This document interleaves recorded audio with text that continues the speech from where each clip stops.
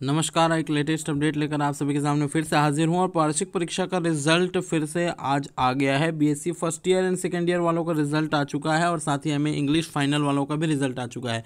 ऐसे कंटिन्यू तुरंत अपडेट के लिए यदि आप चाहते हैं, आपको मिले तो चैनल को सब्सक्राइब करें, दूसरों तक शेयर ज़रूर करें नोटिफिकेशन बेल को ऑन करें।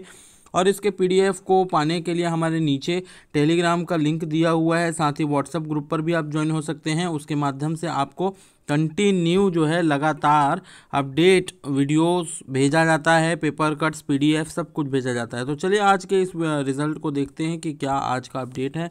तो आप देख पा रहे हैं, आज रिज़ल्ट जारी किया गया है, वो है बीएससी पार्ट टू और पार्ट वन का, जिसका रिज़ल्ट यहाँ पर बीएससी वालों का थोड़ा सा बीए और बीकॉम से कम है रिज़ल्ट। देख रहे हैं आप 94 और 91 परसेंट तो काफ़ी ज़्यादा छात्र यहाँ पर अनुत्तीर्ण हो गए हैं।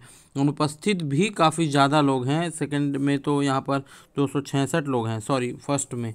तो उतना खास रिज़ल्ट यहाँ पर देखने को नहीं मिला है, लेकिन एम ए इंग्लिश फाइनल वालों का रिज़ल्ट बड़ा अच्छा है। 99.78 परसेंट देखने को मिल रहा है, जिसमें से दो लोग फेल हो चुके हैं। तो नीचे आप इस पीडीएफ के माध्यम से आप देख सकते हैं अपना रोल नंबर कि आप कौन से ग्रेड में पास हुए हैं, जैसे कि यहाँ पर ऊपर में लिखा हुआ है फेल तो ये जितने भी रोल नंबर दिख रहे हैं वो फेल वाले हैं। नीचे चले जाते जाएँगे, उसके बाद आप देखेंगे कहीं पर लिखा होगा फ़र्स्ट मतलब फ़र्स्ट डिवीज़न।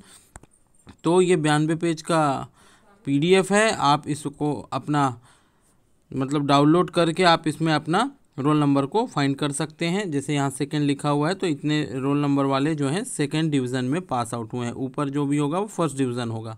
तो इस तरह से यहाँ पर आज का रिज़ल्ट घोषित किया गया है। ये बीएससी वालों का है। अब कल वैसे शनिवार तक सोचा जा रहा है कि फ़र्स्ट और सेकेंड का रिज़ल्ट जारी कर दिया जाएगा बीए वालों का।